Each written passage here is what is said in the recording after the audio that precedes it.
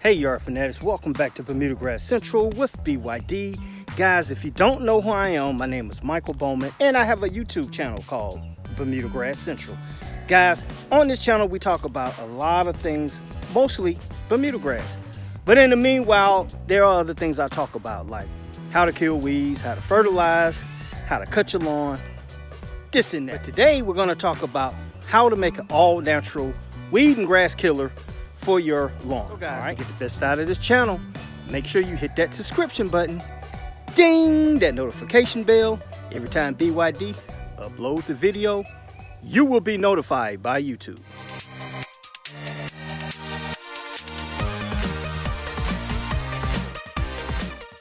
That question all the time, guys. BYD, is that all you put down on your um, Bermuda grass? Is those toxic herbicides? No, guys there are natural ways to go about doing this. One reason I don't do it because the natural this doesn't last this long. But the natural is probably the better way to go if you're conscientious about planet Earth. So in this video, guys, I'm gonna show you how to make an all natural weed and kill for your lawn and for your flower beds, curb cracks, all that good stuff. I'm gonna tell you the pros and I'm also gonna tell you the cons. Guys, while I'm making my way over to this table, I need for those of you who've made your own natural weed kill to go ahead, comment below. Let everybody know what you used, the process, um, how much you had to measure it, all that good stuff, guys, because this channel is built on good information and I want you to be a part of. So comment below, guys. Tell me exactly what you use. How long did it take for it to die? All that good stuff. So let me go ahead and get right to the mix. Look, I'm just gonna get straight to this. These are the ingredients that you're gonna need. Now you see right there, we got the regular table salt. salt. Now, by the way, none of this is sponsored. These are just products laying around the house, guys. And you saw when I went into my cabinet, I literally got this stuff from. Uh, don't be looking in my pantry. But yeah, these are stuff that you should have at home. All right, that's not gonna be enough. I got another bottle right there. If you can see that, hopefully the light. So I use salt, regular table salt. We'll use that my uh, surfactant. Now, somebody said something about using that, but this is what we're gonna use. And instead of getting one of those gallon sprayers, just use a little and I will suggest get the um, industrial bottle. You can get them for like three or four dollars at Home Depot. Didn't have to go to the store. Majority of you guys will have these things at your home. Maybe not that spray bottle. Now I will suggest that you get an industrial spray bottle. And if you're gonna use this specifically for natural weed killer, take a Sharpie, write it across the top so you know exactly what it is. But these items, guys, were just picked up in the home. I didn't have to go to the store. But the cost of this is nil, guys. It's very nil. guys, so let's go from this way to this way. We got table salt. We got some uh, dish detergent that's going to act as our surfactant. You can use anyone, guys. I don't care, antibacterial or regular. Um, you can use, I got the Zep Professional Sprayer. We got the glass measuring cup. And I told you once before, I bought buy glass because it doesn't stain.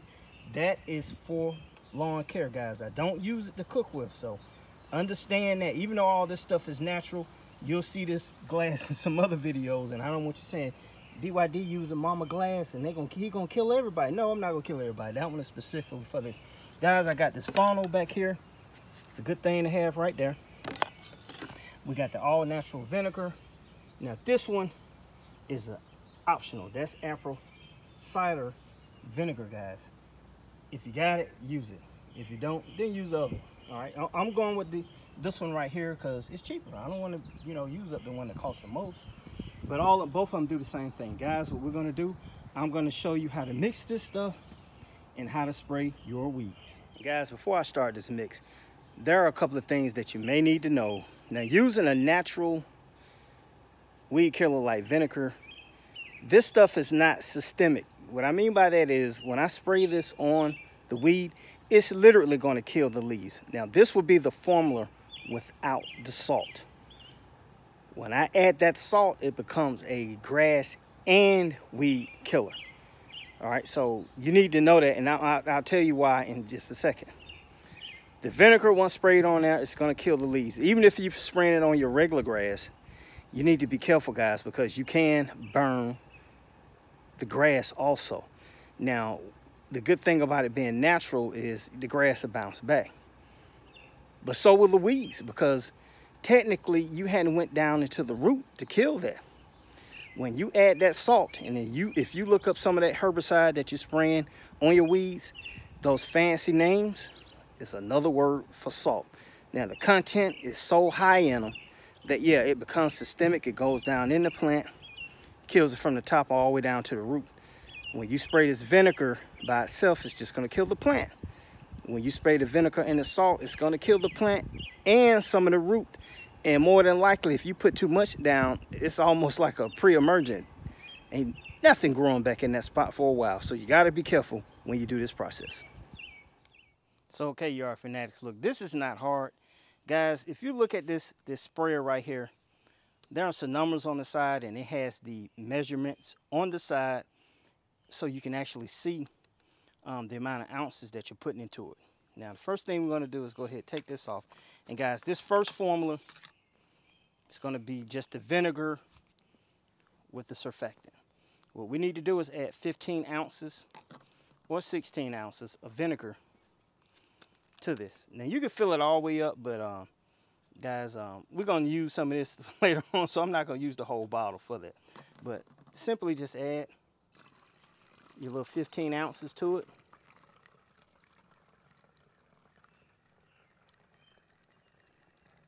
Or 16. All right, got that done. Make sure you put the top back on these things as soon as you do it. Remove the funnel. Now, as far as the surfactant, guys, I don't suggest that you put it in here because you're going to have some residue of your surfactant in there. Just go ahead and take it straight from the bottle try to eyeball it to put maybe an ounce in there. So we got an ounce of surfactant in there. Close that back up. And we'll put this on here. And that's it. Shake it up a little bit. Don't shake it up till it's foam all up, but shake it up just a little bit to mix it up. And that's your regular mix. That right there is going to kill weeds um, without so much damaging the grass by adding this salt. But when you spray this whatever it hits is going to kill the leaf surface, all right? So let's go ahead and find a few things we want to spray. Okay, guys, here's a weed grass that I don't want in my lawn, all right? Now, I have the spray bottle, and hopefully you can see that, all right? Now, before you spray this, make sure you have the nozzle tip set where you want it to be so it won't come out in stream. You want it to come out in the mist form. So hopefully you can see this. Okay.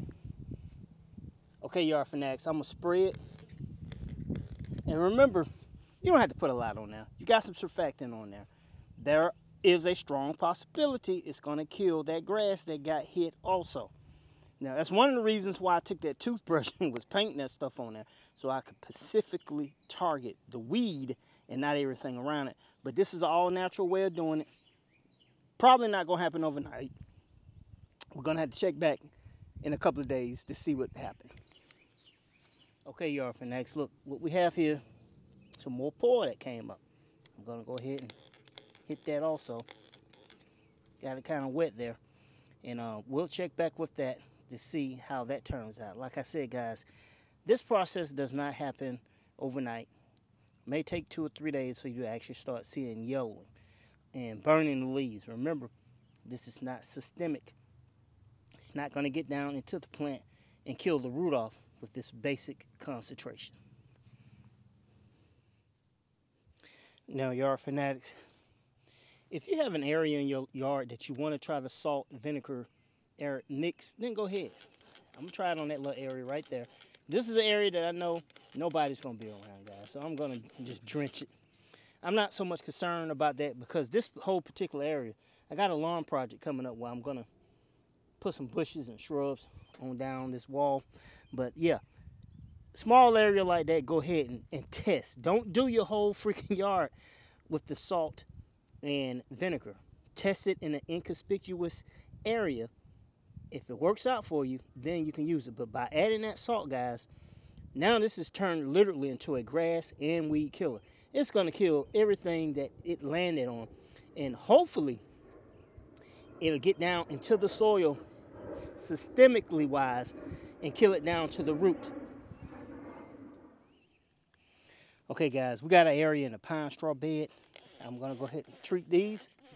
Now, what's awesome, I'm going to go ahead and change the spray tip so I can get a direct stream-like spray going straight to the gut. I'm aiming at the bottom of it so it'll help get down in there. And yes, I do smell vinegar.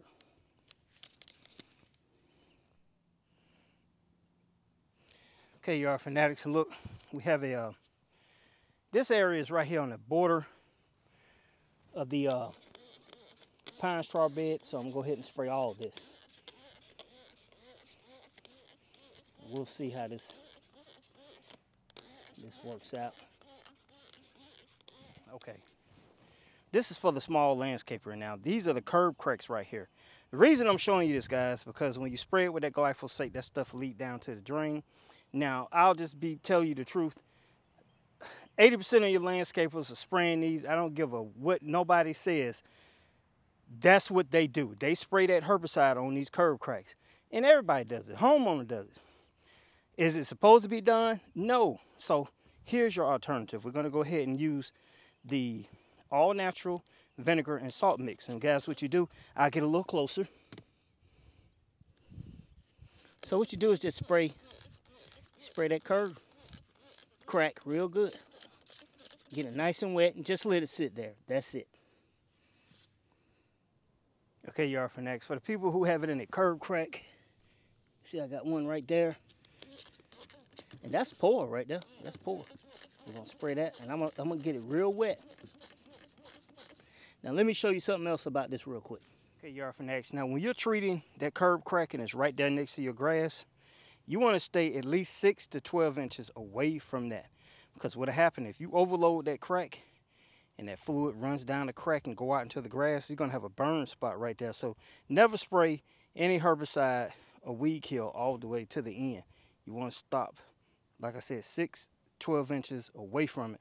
That way you won't get that burn on the corner. Hey guys, and look, this is 24 hours later. You can see it's, it's dying off. I'll try to get as close as I can. Life is being drained out of it. All right, that's that's one of them. Let's go check out the other patch. Hey, y'all fanatics, and like I said, we sprayed this one with the salt and the vinegar concoction. And this is 24 hours later. And yeah, it's, it's starting to wilt. Let's get a little closer. Starting to wilt. There. And right there. So so it is working.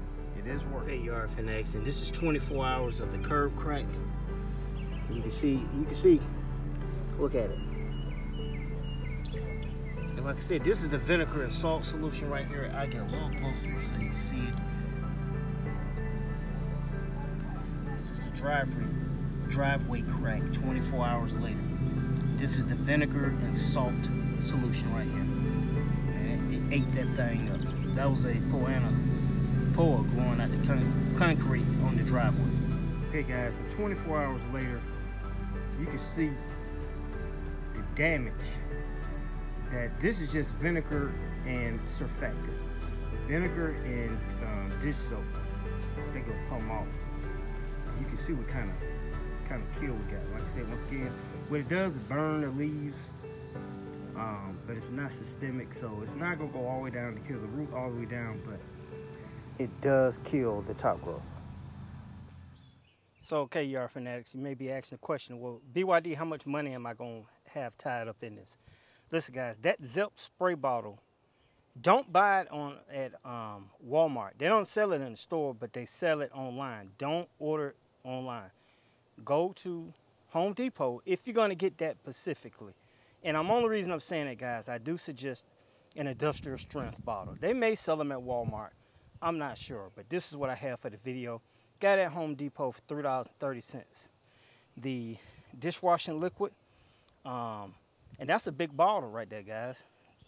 Only three bucks. the Heinz um, vinegar, and you don't have to get Heinz. You can get the cheapest one they have. And guys, though, it's going to be 5% if you buy it in the store. That's the mix, 5%. The vinegar is going to be like 5% alcohol. They have 6 or 7%. Then they have horticultural vinegar. Um, don't buy that because it's just too strong for your grass. So stick with the one in the store. It's a little all natural. That's 5%. That's um, $2 a freaking bottle. And the salt was a dollar bottle. So really, you only got 9 bucks and 30 cents tied up in this. That's not a bad, bad deal at all. So okay, yard fanatics. Like I said, that was an all natural mix. Nothing hard about it. Nine bucks and tied up in it. It's not like a synthetic herbicide that's just gonna kill everything. Systemic, go all the way in, kill everything at the bottom. Um, but it's not toxic. Um, it's, it's stuff that you got around the house that you can use. And I'm pretty sure somebody will say, yeah, it's toxic, this and that. That may be fine, but this is the least amount of toxicity that you can have, if that's a word. So guys, hopefully this video helped you. Um, if it did, like I said, make so sure hopefully this video has helped somebody make an all natural weed kill and grass kill for their lawn. Um, guys, if this video has been helpful, help BYD spread the words. If you are a true ride or die yard fanatic, what I need you to do right now is copy paste this link, put it in your social media, your Twitter, your Facebook, Spread the word, guys. Don't leave the page without copy pasting and put it in your social media. Help BYD spread the word. So once again, Yard Fanatics, you're tuned into Bermuda Grass Central with BYD. This is Michael Bowman, and I'll talk to you soon.